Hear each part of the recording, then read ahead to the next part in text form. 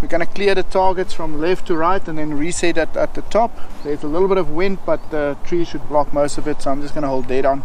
This is by the way a 34 grain at 1100 feet per second it's only 100 meters so it should just travel straight. So let's go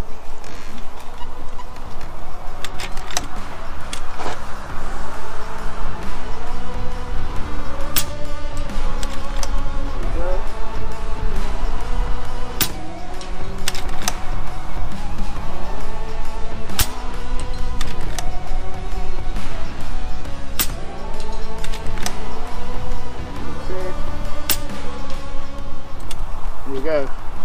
This gun is super accurate.